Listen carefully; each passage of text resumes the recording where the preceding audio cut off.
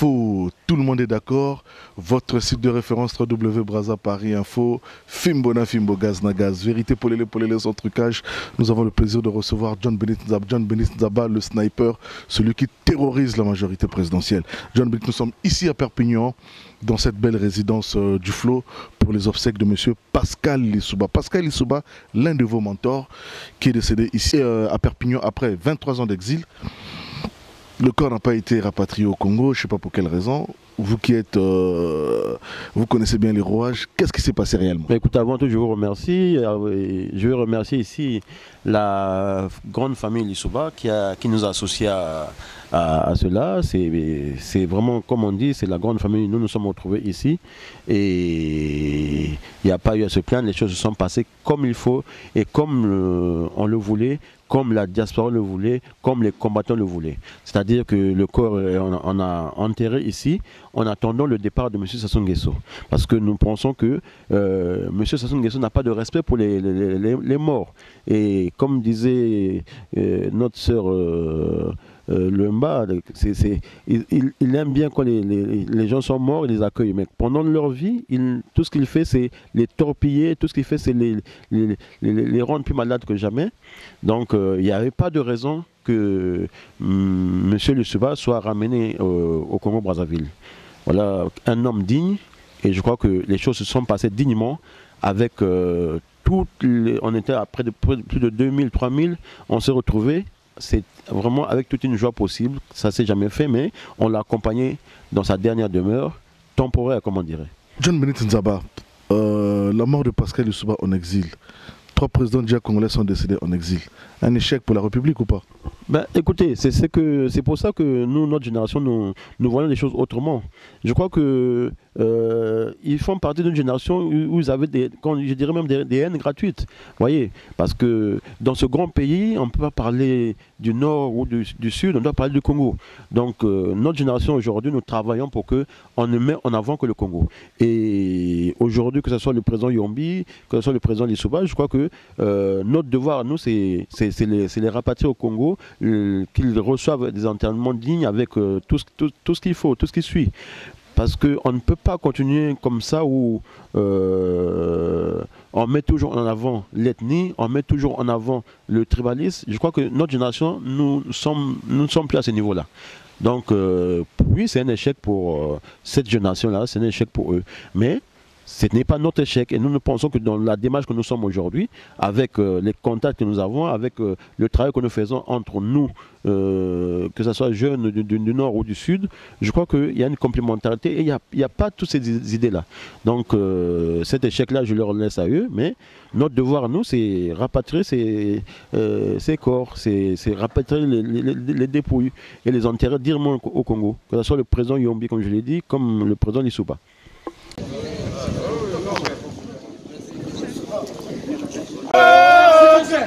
Mettez comme ça, s'il vous plaît.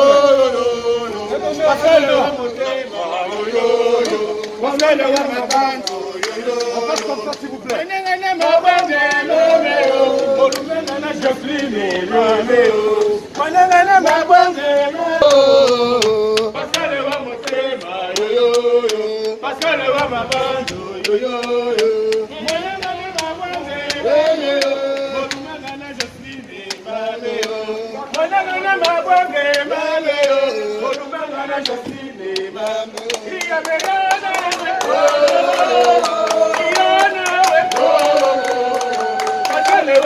Il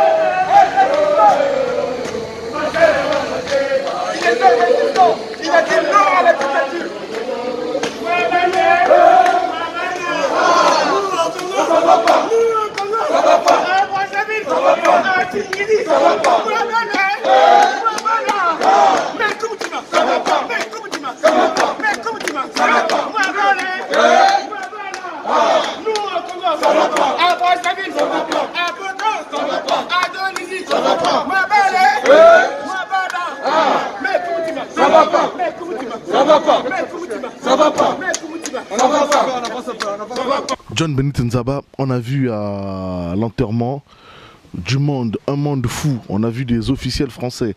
Mais malheureusement, l'ambassadeur du Congo en France a été hué par les combattants. Qu'est-ce que vous en pensez? Ben, Ça aussi, moi je crois qu'il y a des fois quand on fait la politique, il faut s'attendre. Nous avons en face d'un monsieur qui a organisé des viols euh, pendant le, la guerre. Un monsieur qui a financé des, viols pendant la guerre. Un monsieur qui a contribué financièrement à, à tuer les Congolais pendant la guerre. Bon, et il, a, il, a, il a participé à l'exil de, du président Lissouba. voyez Donc, je crois pas, même, je, crois qu'il est, parce que souvent je le, euh, le, minimise un peu, mais il doit avoir une, certaine intelligence, monsieur, monsieur Adada. Je crois qu'il a assez, mais il ne doit pas être surpris. Je sais qu'il a été très mal à l'aise, mais écoutez, euh, dans la, vie, c'est ça, c'est une succession des événements. Lui, il, pensait que quoi, le monde devait s'arrêter un jour? La vie continue. Donc il se retrouve là devant un fait où il, était vraiment, écoutez, non, il a été hué, mais heureusement que les gens étaient un peu plus, modérés. Il, aurait, aussi euh, pu être euh, bastonné. voyez Donc moi je crois qu'il il faut qu'ils le comprennent. Hein. ça, c'est la douleur de certaines personnes qui sont encore là. Vous voyez, il y a beaucoup de ces jeunes-là, ils sont venus en exil, ils n'avaient rien à faire. Hein. Ils sont en exil, c'est des policiers, c'est des, travailleurs, c'est des Congolais qui sont aujourd'hui dans une situation difficile dans les pays et qui prennent, l'exil. Donc tout ça, je crois que M. Adada, que je, crois toujours intelligent, doit comprendre que la vie c'est comme ça. Il y a des moments où ça ne passe pas, a des moments où ça passe. Mais là, il se retrouve dans une situation où il ne pouvait rien faire et moi j'étais pas loin de lui, j'ai vu comment il s'est échappé de là ben, c'est pas digne d'un ambassadeur. Et pas, ça, ça fait pas courageux pour, pour tout ce qu'ils ont fait pour le Congo, hein, tous les massacres, tout ce qu'ils ont fait. C'est pas un homme courageux. on va continuer comme ça, là, huer les autorités du pays quand ils arrivent dans des, des veillées. Écoutez, moi je vous ai toujours dit que même nous quand nous arriverons, si on ne fait rien, si on, est là à, bafouer l'honneur des Congolais, mais attendez, ça sera, ça sera même pire que ça. voyez On ne peut pas comprendre dans un pays où les gens euh, Monsieur Adada qui est là, j'ai un, procès avec lui bientôt. Il, a dans ses caisses aujourd'hui, une partie de ses caisses, plus de 850, 850 millions de dollars. Voyez? Bon, qu'est-ce qu'il en fait? Hein? Et bon chez lui, il y a quoi là-bas? Voyez? Donc ça, ça, énerve tout le monde. Et, qu'ils ne s'attendent pas demain à ce qu'on leur mette de l'huile, qu'on leur... Non, c'est pas possible. La génération d'aujourd'hui, nous, nous pensons que nous sommes dans ce combat-là. On ne peut pas tolérer, que ce soit dans d'autres pays, on ne peut pas tolérer que les, gens, euh, les présidents viennent pour piller. Vous avez vu ce qui s'est passé au Mali. Hein? Pour une fois où les gens, tout un peuple est d'accord pour un coup d'État. Donc, on n'accepte pas, pas ça parce que quand on vient, c'est pour servir l'État. Et l'État, vous devez rendre des comptes à l'État. On ne peut pas être comme ça, on s'agrippe, on ne veut pas partir parce que. Mais non, pourquoi? Je crois qu'il euh, le mérite et nous aussi, si ça se passe ainsi, nous le méritons. Il ne faut pas blaguer avec la population congolaise. Il ne faut pas blaguer avec l'humain. Hein? Il faut que nous ayons un sens de responsabilité. Et le sens de responsabilité fait que on, quand on est là, comme disait le président, le président Pascal Lissouba, on vient pour servir. Ce n'est pas pour se servir. Voyez et je crois que euh, nous retenons beaucoup de, de, cette phrase et notre devoir est plus déterminant que jamais. John Benit Nzabak, j'ai vu aux obsèques le foisonnement, de la population congolaise venue de partout à travers le monde. C'est là, c'est pour faire un doigt d'honneur au pouvoir de Brazzaville.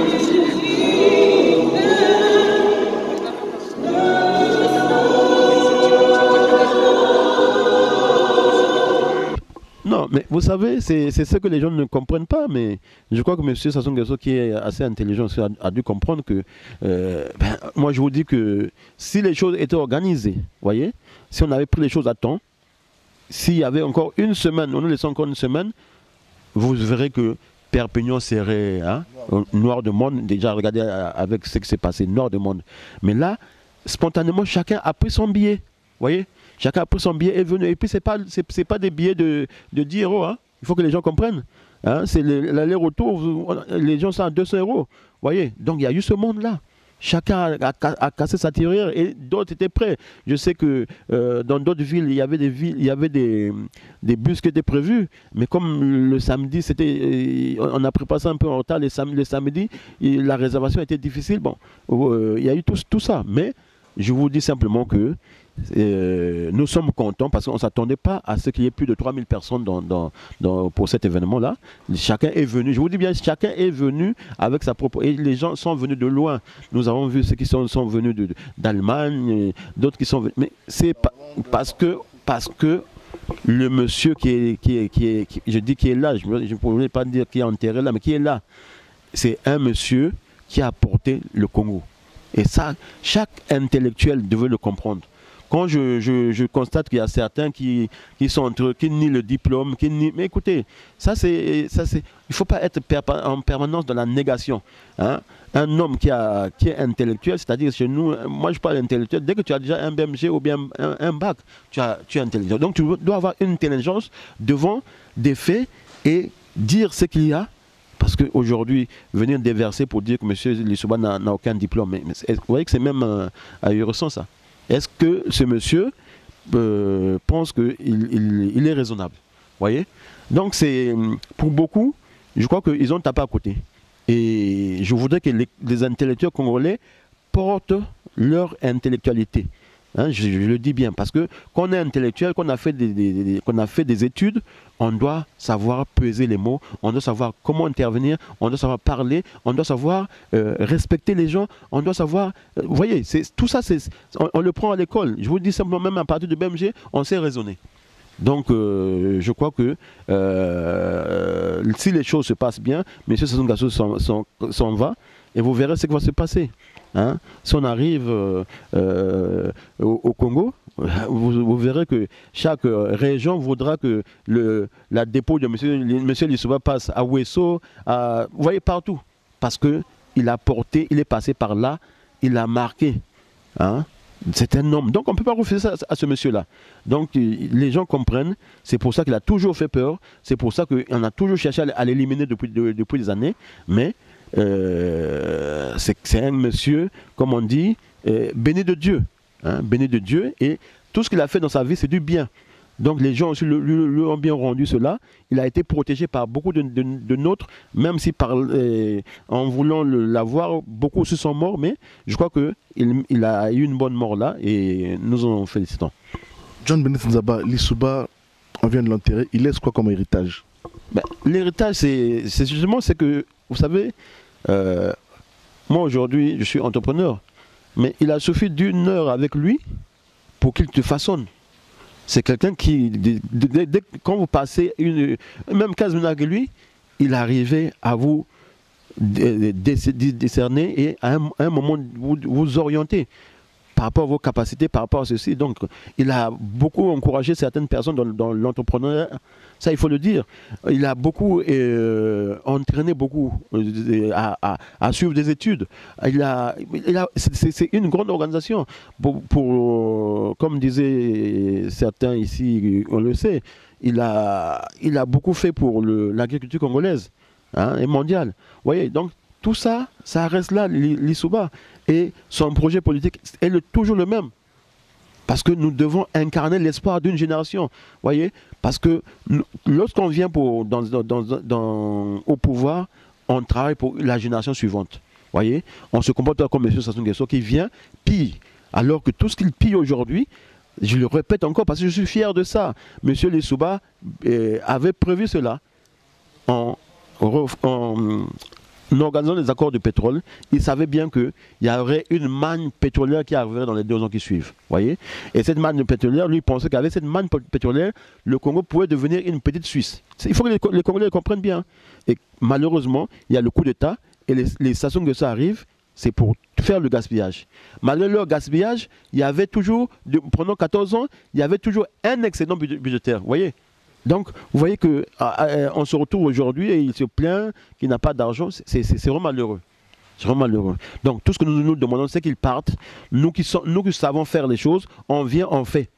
On va encore faire.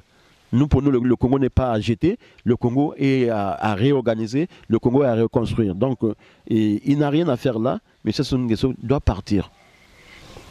John Benito Nzaba, vérité, polélé, polélé, polélé, polélé, sans trucage. Donc, l'héritage de l'Issouba dans son parti, qui va hériter le parti, euh, il y a- Tati Mabiola qui est à la tête. Ils vont organiser un congrès sur le plan politique. Quel est l'héritage de Pascal Issouba Écoutez, on l'a- toujours dit, vous voyez, aujourd'hui, très clairement, hein, rien ne peut se passer au Congo avec M. Sassou Nguesso. Parce que M. Sassou tient, les manettes, M. Sassou euh, euh, traumatise les populations congolaises, voyez Parce qu'il y a une grande intelligence qui se trouve aussi à l'étranger, qui voudrait bien euh, participer. Mais je crois qu'aujourd'hui, notre, notre but, c'est mener ce combat-là pour réhabiliter le Congo, le Congo sans Sassou. Voyez Et je crois que là, tous ces partis, tous ces pourront se réorganiser. Donc je crois que ça, c'est une page que nous allons ouvrir euh, euh, juste après la, la- la victoire euh, finale, comme on le dirait. John Benito Nzaba, on arrive au terme de notre émission. Vérité, polélé, polélé, sans trucage. Votre mot de la fin, s'il vous plaît. Non, on ne peut pas parler du mot de la fin. Vous savez que euh, nous sommes toujours en train de défendre notre frère et combattant, euh, le général Jean-Marie Mokoko. Ça, c'est. Je m'insurge toujours parce que M. Sassou Nguesso, nous, pendant un moment, il, il croit que nous sommes des dupes. Vous voyez, non? Qu'il peut faire ce qu'il veut, il peut menacer. Non. M. Sassou Nguesso, aujourd'hui, doit nous expliquer où se, trouve, où se trouvait monsieur, le, général Mokoko? Qu'est-ce qui s'est passé avec le général Mokoko? On ne peut pas faire simplement et se réjouir nom qu'il est parti. On n'a aucune preuve, voyez? Et aujourd'hui, solennellement, je demande ces preuves-là. Hein? Qu'est-ce qui s'est passé? Où il se trouve exactement? Que, que- que fait-il exactement? Parce qu'on ne peut pas euh, euh, nager dans le flou comme ça. Il peut le faire pour cette génération, mais nous, on n'accepte pas ça. On n'accepte pas ça. Il faut qu'il y ait des preuves de vie, de preuves que ce, monsieur est parti à- en Turquie, de preuves qu'il a été soigné, des preuves, tout ça, on- il c'est, clair. Voyez. Vous imaginez monsieur Sassou Nguesso faire euh, cet exploit-là, sortir monsieur Mokoko de- dehors pour aller se, faire soigner, et, euh, vraiment cacher cette nouvelle, vous imaginez alors qu'il veut bien se faire bien passer au sein de la communauté internationale donc, il y a un bluff. Il ne faut pas que les Congolais tombent dans ce bluff-là. Monsieur, monsieur Sassou Nguesso doit nous expliquer ce qui s'est passé réellement. Où est-ce qu'il avait caché Monsieur Moko Parce que moi, je parle de ça caché parce que sa famille n'a pas eu accès, même à l'hôpital. Rien du tout. Donc, on ne vient pas nous dire ici que non, il était en Turquie. Non. Nous, on veut des justifier. Et ça, on va le savoir. Parce que l'état de, de M. Mokoko, de, général Mokoko, nous le suivons de près. Il faut pas qu'on l'ait mis pendant un, mois dans une chambre empoisonnée. Ça, on on- on ne le- ne souhaite pas. Mais euh, que M. Sassou Nguesso sache que nous suivons cela de près. Et après, là, on me dit qu'il est à l'hôpital général actuellement. Nous allons demander une expertise des médecins étrangers qui vont savoir exactement ce qu'il a aujourd'hui, quel état de santé aujourd'hui. Donc, M. Sassou Nguesso ne doit pas nous faire avaler des choses simplement comme ça. Nous ne sommes pas des dupes, nous sommes des, militants, nous sommes des Congolais qui sont bien déterminés. On, ne- peut pas, on ne peut pas nous tromper simplement comme ça. Donc, euh, M. Sassou Nguesso, je répète, doit nous expliquer ce qui s'est passé réellement. John Benito Nzaba, le général Mokoko sera-t-il candidat en 2021 ou l'opposition à notre candidat Écoutez, nous, nous, nous pensons que la, la, la crise de, de, de- de 2016 n'est pas encore, réglée. Vous allez vous présenter aux élections. Pour, pour moi, M. Sassou n'est pas président du, du- Congo. Alors, monsieur, monsieur Moukoko, le général Moukoko aussi, ne reconnaît pas M. Sassou Nguesso comme président du Congo. Vous voulez qu'il se représente avec qui? Contre qui? Voyez? Non, il y a cette page, noire- page, cette page noire-là, il ne faut pas la, faire passer comme ça. Hein il y a des Congolais, une masse de Congolais qui ont, contribué à ça, qui ont élevé euh, le général Mokoko à, ce niveau-là, comme, bien d'autres. Je crois que ces résultats-là doivent être mis à table et discutés. Si c'est ça, si c'est ce que M. Sassou Nguesso veut. Mais je ne vois pas là aussi, à, six mois d'élection, comme euh, M. Sassou aime le faire, des élections qui vont, avoir lieu à six mois. voyez Donc tout ça, c'est le flou. Mais pour nous, je l'ai toujours dit, il n'y a pas d'élection. Et M. Sassou Nguesso n'est pas président de la République du Congo. Ça, c'est clair et net. Il doit nous le démontrer et en nous asseyant soit sur une table, soit en, parlant des résultats de 2016. Et après, on va effacer cela. Mais nous demandons la sortie des prisonniers politiques. Nous demandons que M. Mokoko, le général Mokoko soit libéré, que M. Okombe Salissa aussi soit libéré.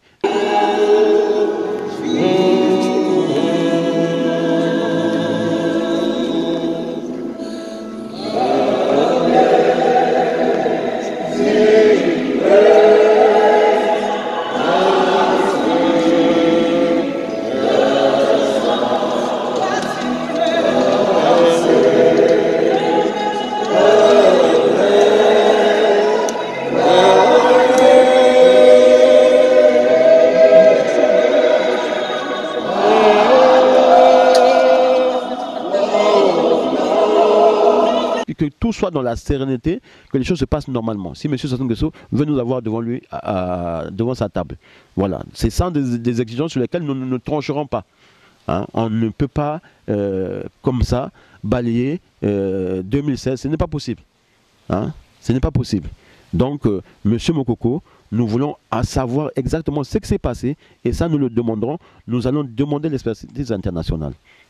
Mais Maître Tricot dit qu'il était en Turquie, sa fille dit qu'il n'était pas en Turquie. Il y a toute une cacophonie, des, des on ne comprend plus rien. pour dire que est-ce que M. Sassou Nguesso avait, avait intérêt à cacher cette, démarche qu'il a faite?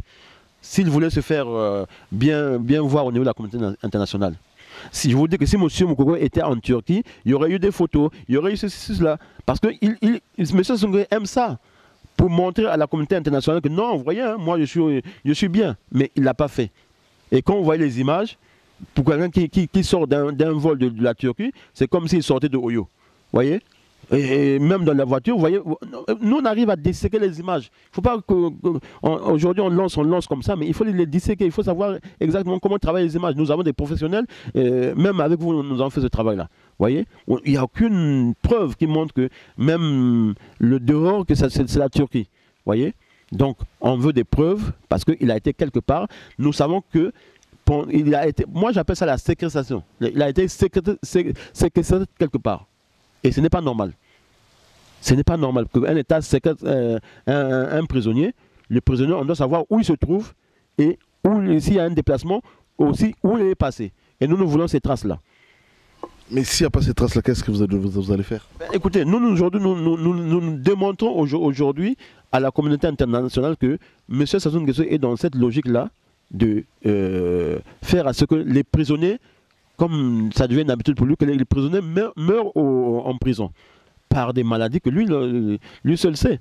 Mais je crois que l'expertise euh, médicale va déterminer, va faire à ce que euh, euh, on, va voir si le corps de monsieur le général Mokoko est sain. Ça c'est important. S'il y a des traces de, poison, on le saura. Mais je dis seulement qu'il a été séquestré quelque part. Hein? On ne l'a pas vu pendant un mois dans la prison de, euh, à Brazzaville. Donc il était quelque part. Que M. Sassou nous démontre par A plus B qu'il a été en Turquie ou bien ailleurs. Mais la fille se plaint. Vous voyez? Dans le, communiqué, qui faisait que le, voyage de monsieur, qui, organisait le voyage de, du général Mokoko, M. Nguesso nous a, fait comprendre que c'était en liaison avec sa famille. Vous voyez? Mais c'est en liaison avec sa famille, pourquoi sa fille qui se retrouvait en Turquie ne pouvait pas voir monsieur, le général Mokoko? Voyez? Donc, je crois que euh, au niveau de la diaspora, les gens doivent réfléchir. Ce n'est pas des images comme ça, simples images travaillées par la, la, la- présidence de Sassou Nguesso, qu'on va, on va se contenter de ça. Hein, nous sommes quand même des, des responsables, nous avons quand même euh, des, des- bureaux dans lesquels on travaille, donc on ne peut, pas- on peut pas se contenter de, de ça. Nous, on veut les faits, et ces faits montrent que M. Moukoko a été séquestré. Donc, quand ça se passe comme ça, on sait comment ça se passe. M. Sassou Nguesso vous met dans une, chambre empoisonnée pendant un an, vous, euh, pendant un quelque temps, vous analysez ces- ces- euh, ce poison et, et vous mourrez à, petit feu. Donc, demain, Monsieur, monsieur Sassou Nguesso peut sortir, M. Moukoko, pour dire bon, c'est bon, c'est fini. Et, deux mois après, monsieur, le général Moukoko euh, meurt. voyez? Donc, je crois que euh, connaissant M. Sassou Nguesso, il y, y a- cette prudence-là. Moi, je ne me laisse pas aller euh, simplement comme ça. Je suis euh, un homme entier qui a. j'ai des gens derrière moi qui me soutiennent, j'ai des, gens derrière moi qui me donnent des informations. Donc, je ne peux pas venir parler n'importe comment, mais ce que nous nous demandons, c'est l'expertise médicale. John Benit Nzaba, on arrive au terme de notre émission. Vérité, polélé, polélé, sans trucage. Votre mot de la fin, s'il vous plaît. Le mot de la fin, c'était pour dire à nos, amis du Congo, pour dire que euh, les épreuves qui nous arrivent ces derniers temps, ça doit être des, ép- des épreuves qui doivent nous remonter, des épreuves, des épreuves qui doivent nous donner de la force, parce que euh, aujourd'hui, ça, ça nous fait vraiment une, une expérience. Nous sommes devant des situations que nous gérons. Hein, on a perdu pas mal de, de personnes. On a perdu le général Joachim Yomo Opango, on a perdu euh, Marc on a perdu Modilema Sengo, on a perdu euh, le, président Lissouba. Mais c'est des gens qui, étaient toujours déterminés dans la lutte. Mais nous qui sommes aujourd'hui euh, euh, à- au niveau où nous sommes, nous devons le prendre positivement.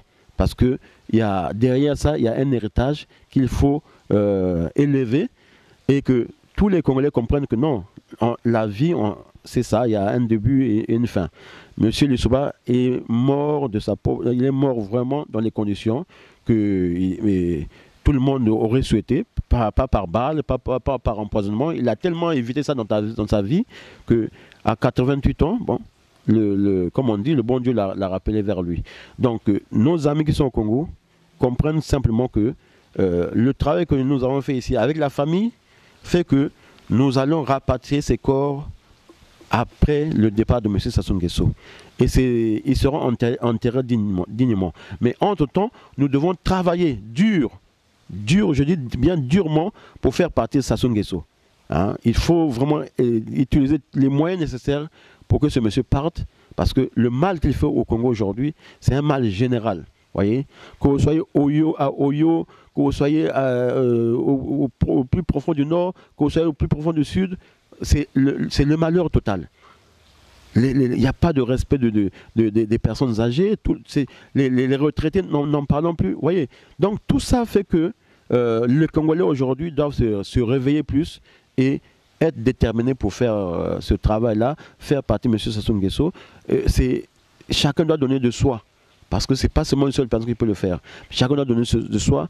Parce que le jour où il y a ce, euh, ce que je peux appeler ce soulèvement-là, que tout le monde, que ça parte du nord, que ça parte du sud, et que le Congolais se lève pour dire non, pour dire non, et exige le, euh, installe par ta force les hommes qui sont capables de mener à bien ce, travail-là. Hein.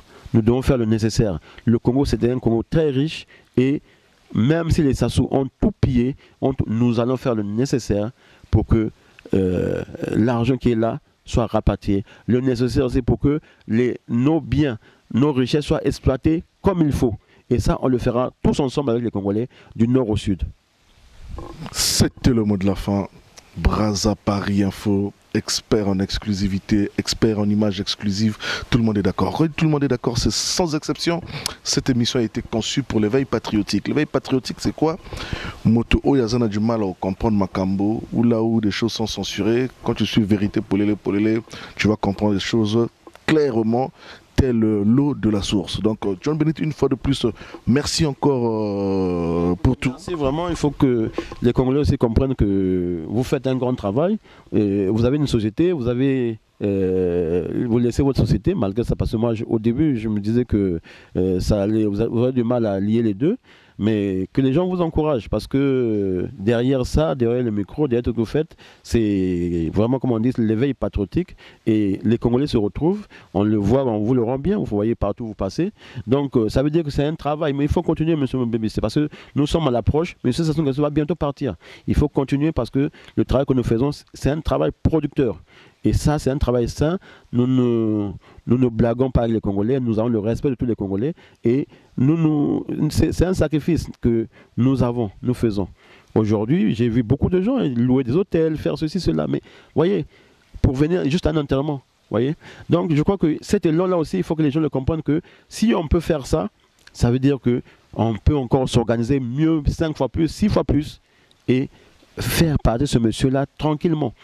Mais je crois que euh, beaucoup de gens, euh, ça, a- réveillé l'esprit de, de beaucoup de gens. Nous ne sommes pas orphelins comme le, le dirait, non. Aujourd'hui, nous avons la responsabilité et nous sommes déterminés.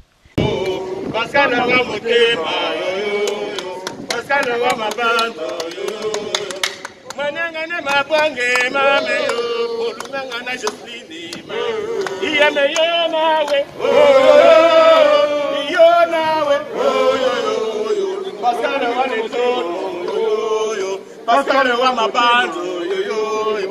Weyidiwa wedukwe benanyo besike nange mbweyo mameyo iyameyo nawe oh, oh, oh. iyo nawe pasare wa motema. Pasare wa mabanzo mabwange mameyo molumanga na jofini mame. Iyameyo nawe iyo nawe. Basore b'umutima basore b'amabanzu